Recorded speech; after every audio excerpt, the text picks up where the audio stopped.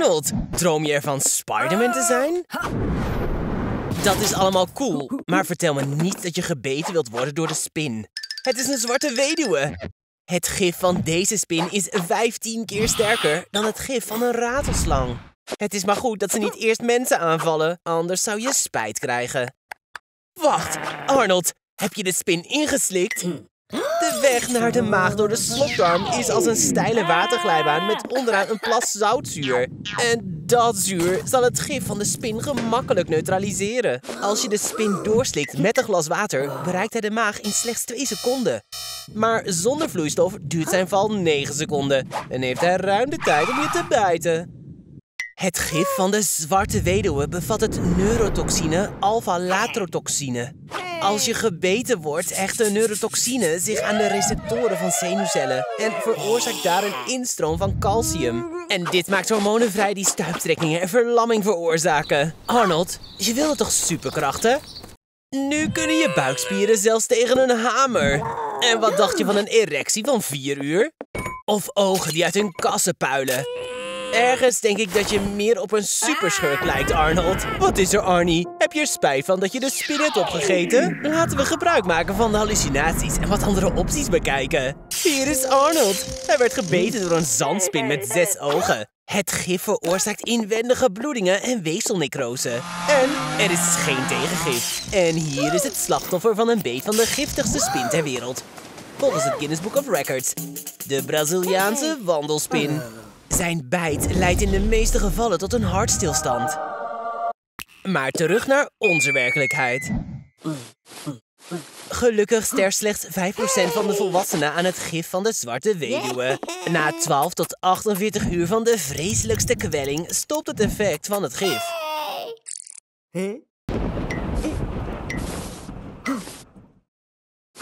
Oeh, een menstruatiecyclus? Wacht, waarom ben je in godsnaam ongesteld? Arnold, het lijkt erop dat je intersexe bent. Er is 2% van de mensen in de wereld die tijdens de puberteit veranderingen aan hun genitaliën opmerken. Ze veranderen hun biljartkeu in een gaatje. En vice versa, als je wilt. Nu begrijp ik waarom dit fotoalbum al die jaren voor jou verborgen werd gehouden. Dus welk geslacht ben je dan, Arnold? Het geslacht wordt op drie manieren bepaald. De eerste is het overwicht van bepaalde hormonen in het lichaam.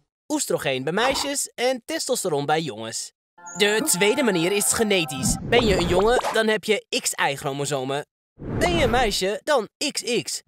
En de derde is het geslacht. Dat is hoe je je voelt en wat de maatschappij je oplegt. Het geslacht is niet aangeboren, maar een definitie die in de loop van het leven wordt verworven. Oh, nu besluit je om je garderobe te updaten?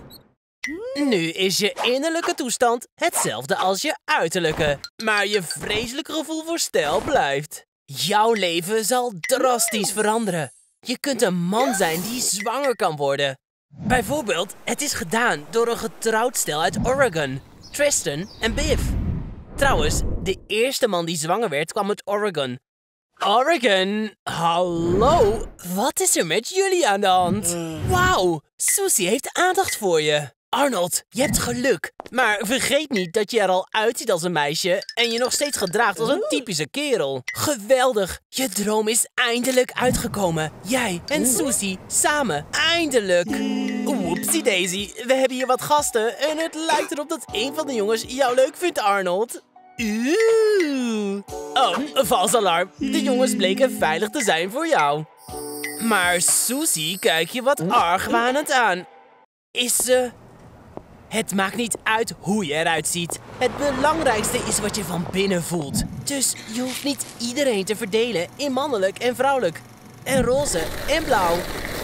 Liefde voor iedereen. Sta op, sukkel. Slecht weer rechtvaardigt geen vrije dag. Wat, wil je niet gaan werken? Dan stel ik voor dat je in bed werkt. Toen NASA bestudeerde wat het effect van zwaartekrachtloosheid op een mens is, betaalden ze 18.000 dollar aan een vrijwilliger om 70 dagen in een bed te liggen. Denk er maar niet aan om op te staan, Arnie. Ik heb een sluipschutter ingehuurd die je bij de eerste poging zal uitschakelen. Je zult eten, drinken en al het andere doen terwijl je ligt. Tot ziens, vriend. Hey, heb je nog geslapen? Hoe gaat het met je? Ik denk niet zo goed. Het lijkt erop dat je aankomt. Alle energie die komt van het voedsel dat je eet, gaat nergens heen. Maar doorlichtwonden, dat is erg. Door de hoge bloeddruk stopt het bloed met stromen naar de huid. Hou vol, oude man. Goed nieuws, Arnold. Je bent dicht bij het record van Sovjet-wetenschappers. 370 dagen in bed. Je ziet er niet zo knap uit. Elke dag verlies je 5% van je spiermassa. Daar komt nog bij dat je botten ook beschadigd zijn. En door je gebrek aan mobiliteit herstellen je botten niet en gaan ze snel achteruit. En paradoxaal genoeg wordt liggend in slaap vallen onmogelijk. Zonder een verschuiving in activiteit weten de hersenen niet hoe laat het is of wanneer het tijd is om te slapen. Maar dit heeft wel zijn voordelen. Je kunt al je favoriete programma's steeds opnieuw bekijken. Ik laat je hier nu achter. Geniet van de show, Arnold. Oh mijn god, Arnold! Wat heb je jezelf aangedaan? Ik was niet serieus over de sluipschutter. Het is echt niet goed om zoveel te liggen. Sta op! Kleed je aan, Arnie. Want met een lichaam als het jouwe kunnen we ons hele vrouwelijke publiek verliezen. Zoek je overeenkomsten tussen jou en Schwarzenegger? Je hebt er in ieder geval één. En dat zijn jullie namen. Je zult moeten beginnen met trainen als je een lichaam als het zijne wilt hebben. En ook je gebruikelijke dieet opgeven. Of heb je misschien nog andere opties? Arnold, meen je dat nou echt? Steroïden? Ten eerste is dat illegaal. En ten tweede, en ik herhaal dit, het is illegaal. Spieren die uit eiwitverbindingen bestaan, worden opgebouwd door microscheurtjes. Die binnen een paar dagen hersteld zijn en de spier sterker en groter maken. Steroïden zijn stoffen die eenmaal in het lichaam omgezet worden in hormonen die het herstelproces verdubbelen. En tegelijk het spiervolume drastisch vergroten. Na inname van zoveel testosteron beginnen onomkeerbare processen in het lichaam. Je ziet een toename van acne, een afname van de grootte van de testikels en ongerechtvaardige agressie. Hoewel, ik weet wat de oorzaak was en waarom. Geen zorgen, Arnold. Je zult in ieder geval iets anders groots hebben. Het lijkt erop dat deze wannabe-behandeling alleen gemaakt is voor luie mensen zoals jij. In feite betekent het gebruik van steroïden dat je niet eens hoeft te sporten om aan te komen. Natuurlijk zal het gebruik van zoveel testosteron je libido verhogen. Je zult vrijwel onmiddellijk meer lichamelijke aandacht willen. hey Arnold, kom op. Dat is gewoon te veel. Dus je besloot je foto's te uploaden naar een dating-app? Gefeliciteerd, je hebt een match. Aan haar foto's te zien hebben jullie veel gemeen. Hoe ga jij verrassen op je eerste afspraakje? Geweldig, Arnold. Jullie twee zijn beslist voor elkaar gemaakt. Goedemorgen, Arnold. Ik zie dat je niet alleen wakker bent geworden. Wat? Ben je bang, Arnold? Ik vergat je te vertellen, testosteron beïnvloedt vrouwen op zijn eigen speciale manier. Ze krijgen gezichtshaar zoals mannen. En hun stem wordt dieper en ruwer. Maar haast je niet zo naar buiten. Het is gevaarlijk. Want je hart is niet meer zo goed als vroeger. Nu kun je gemakkelijk een hartaanval krijgen. Je haalt het ziekenhuis niet. Je hart zou kunnen stoppen. Je hebt een noodbloedtransfusie nodig om de druk in je bloedsomloop op peil te houden. Tijdens de oorlog in Vietnam werden soms kokosnoodinfusen gebruikt om de gewonden te behandelen. Verbazend genoeg lijkt kokoswater nogal op menselijk bloedplasma. Dus, wat hebben we? Cola? Oké, laten we aan het werk gaan. Maar eerst moet je al het gas kwijt zien te raken. Als het gas dat in het drankje zit in je bloedvaten terechtkomt, scheurt het je letterlijk van binnen uit elkaar. Cola bevat suiker, glucose. Dit is een perfecte bron van snelle energie en maakt het mogelijk je echt op te peppen. Het lijkt te werken. De cola heeft wortel geschoten in je lichaam. Maar je uiterlijk is maar een klein beetje veranderd, maatje. Zelfs je haar is van kleur veranderd.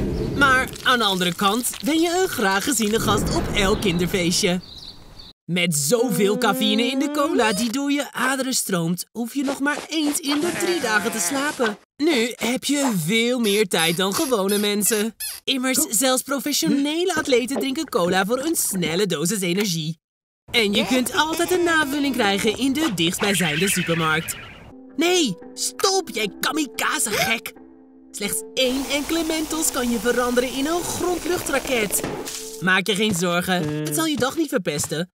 Cola helpt zelfs tegen milde depressies. Maar om eerlijk te zijn, Arnold, cola in je bloed is eigenlijk dodelijk. Je ogen, nieren, zenuwen en hart lijden het meest. Ja, het lijkt erop dat cola geen optie is. En deze strontvlieg praat een jaar lang niet. Waarom? Omdat ik dat zei. Wat krijgen we nou? Waarom kijk je zo, Arnie? Kinderen kijken hier naar. Je kunt niet zomaar je stijl veranderen. Je verpest alles, jij niks nut. Oké, wist jij dat je gemiddeld 7000 woorden per dag spreekt? En na een jaar van stilte dan... Wat in de... Arnold, ik doe alles voor je. Je zou naar me moeten luisteren. Arnold, ben je gek geworden? Dit stereosysteem kan meer dan 150 decibel produceren. Het zal je trommelvliezen doen barsten. Zelfs een idioot als jij zou zich moeten realiseren dat je het gewoon niet kan doen. Oké, Arnold, dat is genoeg. Ik neem niet alleen je stereo af, maar ook je telefoon, laptop, Xbox en al je speelgoed. Dacht je mij te kunnen weerstaan? Meen je dat? Kom hier, jij kleine schlemiel. Pak aan, jij ondankbare. Waag het niet die stereo aan te zetten. Ah. Wat is dit? Arnold, als je dit weer doet, maak ik een video genaamd Wat gebeurt er als je leven wordt ontleed in duizend stukjes? Heel goed. Nu, verman jezelf. Na een jaar van niet praten zal het geluid van je stem drastisch veranderen. Je hersenen stemmen je stem af en gebruiken je gehoor. En over een jaar zijn je oren al vergeten hoe je voorheen klonk. Bovendien zal praten na zo'n lange stilte pijn doen. Zonder training verzwakken de stembanden en de longen raken snel uitgeput door gebrek aan lucht. Je ziet er vreemd uit. Ben je in orde? Ben je veranderd? Vergeet niet dat je altijd met me kunt praten. Je weet dat het googelen van je symptomen een heel slecht idee is? Oh, kijk. Depressieve stemming. Gebrek aan zelfvertrouwen. Vermoeidheid. Hmm, misschien heb je echt een depressie. Misschien moet je een afspraak maken met een psychiater. Het is echt belangrijk om geen zelfdiagnose en zelfmedicatie te stellen. Dus ga niet.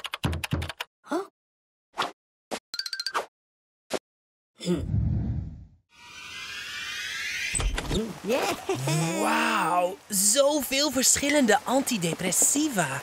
Iets zegt me dat je ook niet geïnteresseerd bent in het lezen van de gebruiksaanwijzing. Of wel, vriend? Oké, dus je hebt twee pakjes Prozac, 75 tabletten Celexa, vijf pakjes Zoloft, een half potje Lexapro en een heleboel kalmeringssiropen van verschillende soorten en kleuren. Niet dat dit noodzakelijkerwijze je depressie zal genezen, maar als je eenmaal begint met het verzamelen van medicijnen, is het moeilijk om te stoppen. Het enige wat me echt zorgen baart is het tricyclische antidepressivum. Maar zoals ik jou ken, weet ik dat je vroeg of laat ook deze rotzooi gaat gebruiken. Oeh, daar gaan we weer. Laat eens zien wat je deze keer nam. MAO-remmers kunnen leiden tot delirium tremens. Vandaar jouw hallucinaties. Duizeligheid, beven, aanvallen worden allemaal veroorzaakt door serotine-heropnameremmers. De euforie en het plezier dat jij ervaart komen van tricyclische antidepressiva. Heb je trouwens al gemerkt dat je al acht uur lang niet hebt gegeten? Modellen nemen soms antidepressiva om geen honger te hebben. En dromen onder antidepressiva lijken dichterbij en tastbaarder. Dus, Arnie, was het allemaal een droom of was het echt? Wat nu? Wil je geen zelfmedicatie meer?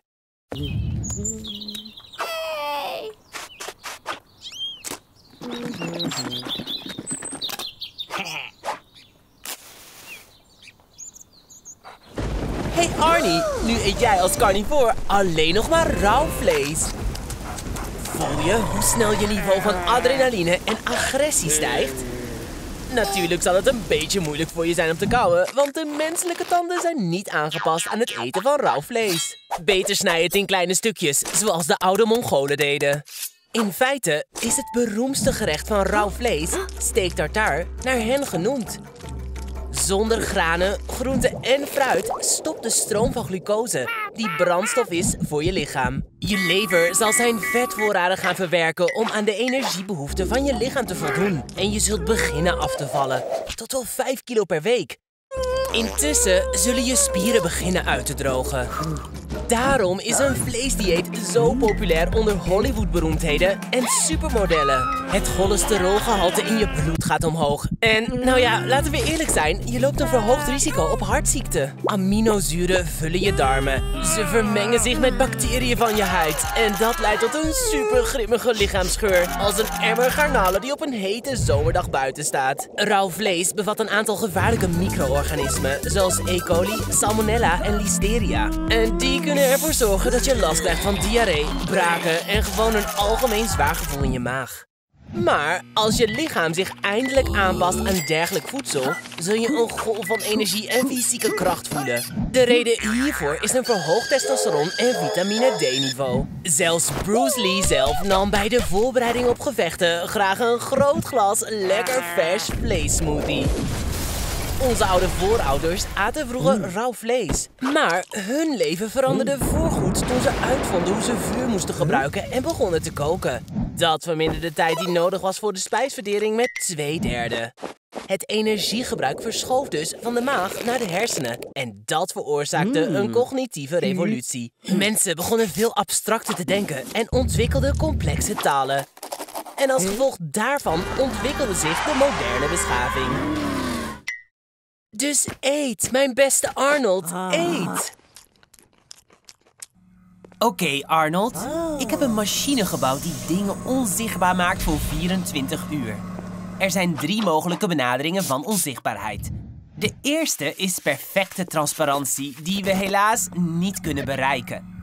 De tweede is camouflage. Wanneer de lichtstralen die van het object uitgaan overeenkomen met de stralen die we zouden verwachten te zien in afwezigheid van het object. Dit is precies wat mijn machine doet.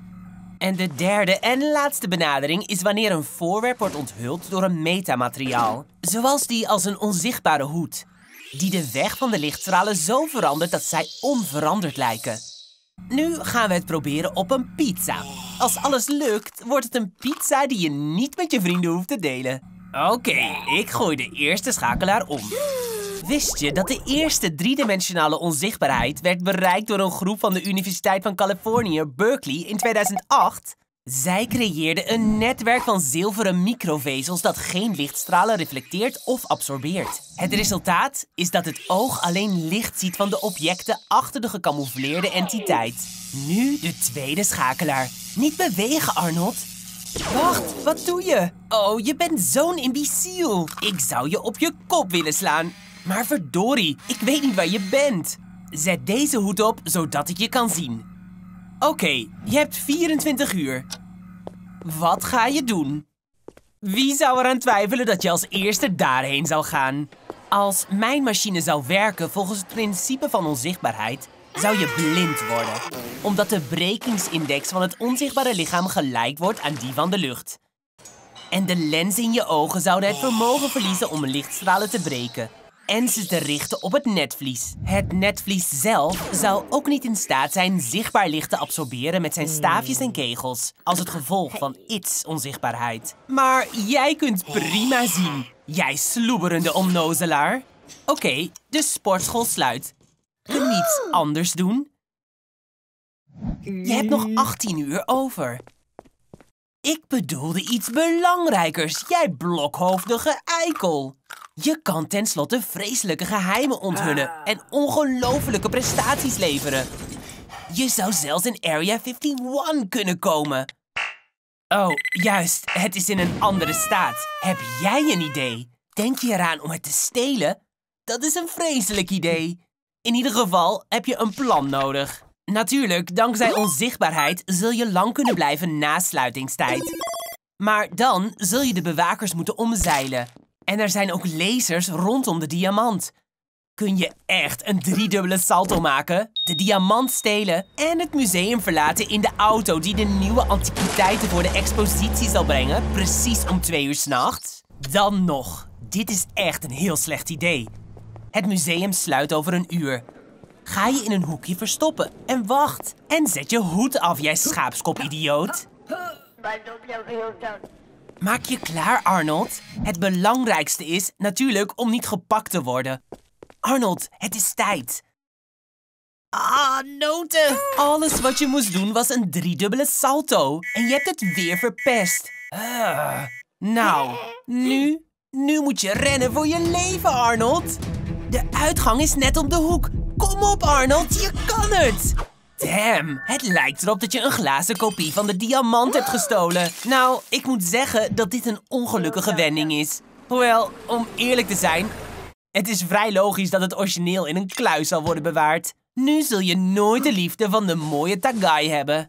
Hier zijn Snot en Gob. Het lijkt erop dat ze weer iets van plan zijn. hey, gaan jullie proberen iemand onsterfelijk te maken? Wauw, wie is dit? Ik gok dat deze kerel geen idee heeft wat eenzaamheid is. Ik denk dat we precies de man gevonden hebben die jullie zoeken. Ik kan niet wachten om te ontdekken hoe jullie hem onsterfelijk gaan maken. Voorhees DNA in de knappe kerel transplanteren is een geweldig idee. Vanuit biologisch standpunt kun je een mens onsterfelijk maken. Om dat te bereiken hoef je alleen maar uit het DNA de neiging te verwijderen om ouder te worden en aan ziekte te lijden.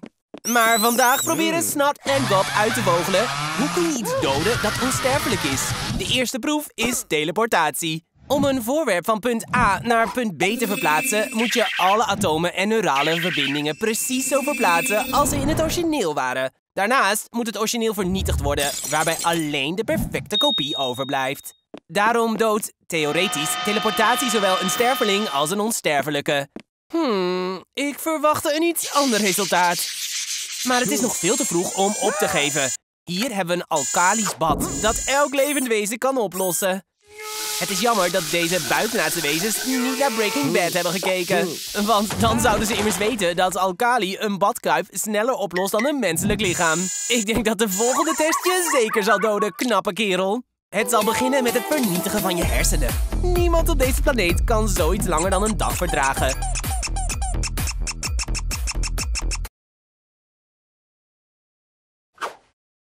Je leeft nog? Oké. Gelukkig voor ons hebben Snart en Gab gisteren toevallig deze enorme vleesmolen gestolen.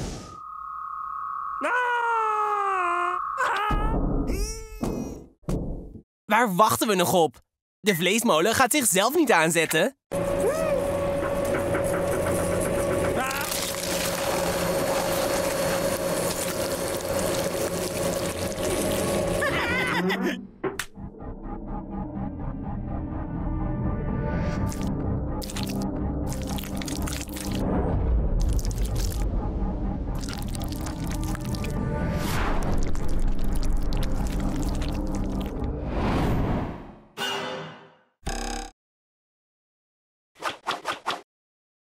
Hij schijnt zijn geheugen kwijt te zijn. Om preciezer te zijn, al zijn neurale verbindingen zijn vernietigd. En zijn geest is als een zuiver wit laken. Op een of andere manier hebben we hem gedood. En wat zullen we daar nu mee doen? Ik weet het niet. Iets interessants. Dat zijn mooie, grote groenten. Hey, stop met eten in de winkel. Die groenten zijn GMO, genetisch gemodificeerde organismen. Deze tomaat bevat een zijderupsgen. En je gewone alledaagse komkommer vertoont genetisch gezien 40% gelijkenis met een mens. Maar wees niet bang, GMO is niet eng. En ik weet precies hoe ik je dat kan bewijzen. Laten we jou genetisch modificeren, Arnold. Het is illegaal om zulke experimenten op mensen uit te voeren. Maar in 2018 werden in China twee genetisch gemodificeerde baby's geboren. Ze waren geprogrammeerd om immuniteit tegen HIV te hebben. Nu zijn we in het tip-top geheime laboratorium van het Pentagon. Ze produceren er vooral GMO-soldaten. CRISPR-Cas9 is een nieuwe technologie waarmee het DNA van het ene organisme in het DNA van een ander geïmplanteerd kan worden. Een gewone vis werd ingeplant met genen van een bioluminescente kwal. Nu is het een glowfish. Groenten worden gemodificeerd om ze langer te bewaren en ze beter te laten smaken. Maar hoe zit het met jou, Arnold? Wil je langer worden? We kunnen het Michael Jordan gen gebruiken. En we halen het zweetgen bij je weg, zodat je niet meer zo stinkt. En hier is Arnold 2.0. Een nieuw leven is begonnen. Zonder zweet zullen mensen eindelijk naast je komen zitten in de bus. En de oma van je buurvrouw zal ophouden je een klein roodharig maagdje te noemen. Nu noemt ze gewoon een roodharige maagd. Ja, genetische manipulatie is nog niet perfect. Maar het is de toekomst. Designer GMO-baby's komen eraan. En het zal mogelijk zijn om het vreedheidsgen uit misdadigers te verwijderen. Het is een nieuwe fase in de evolutie. Zoete dromen, Arnold 2.0. hey, wat is er aan de hand? Arnold, heb je alle spuiten uit het lab gestolen? Wat? Wil je jezelf injecteren met het aardbeiengen om lekker te ruiken? En een corgi-gen voor een perfecte kont? Doe dit niet, Arnold. Stop! Oh mijn god, wat hebben we gedaan? Ik had het mis. Genetische manipulatie is niet alleen gevaarlijk voor het organisme, maar ook voor de hele stad.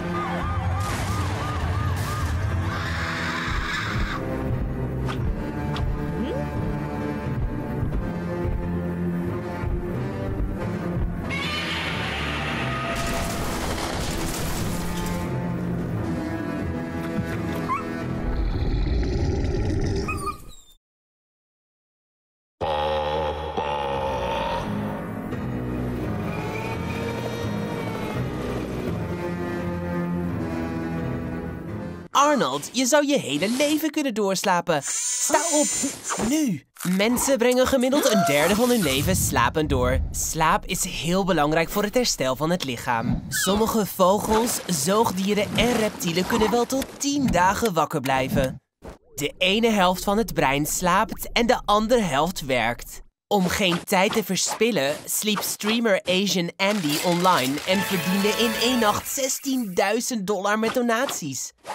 Ik denk dat er iemand in je huis aan het inbreken is, Arnold. Word wakker! Arnold, wie zijn deze jongens? Ze lijken in het niets op je vrienden. Gefeliciteerd, Arnie. Op de een of andere manier heb je jezelf in behoorlijk wat problemen gebracht. Alweer. Wat is dit voor springende speeltuin? Het lijkt wel op een slaapzaal van een universiteit, maar niet op de beste. Wauw, Arnold. Het lijkt erop dat je een superster zou kunnen zijn in een nieuwe reality-serie. Hoe zijn ze in hemelsnaam aan een dossier van jullie gekomen? Whoopsie daisy, ik denk dat ze jullie per ongeluk hier hebben gekregen. Wat willen ze van jullie? Uh-oh, dit bevalt me helemaal niet. Arnold, heb je niet kunnen slapen? Een dag zonder slaap leidt tot hoofdpijn. Je gehoor wordt gevoelig en moeilijk. En je geheugen wordt aangetast. Je moet echt slapen. Men gelooft dat een mens gemiddeld niet meer dan vijf dagen zonder slaap kan verdragen. Dan begint de echte beproeving. Optische en auditieve hallucinaties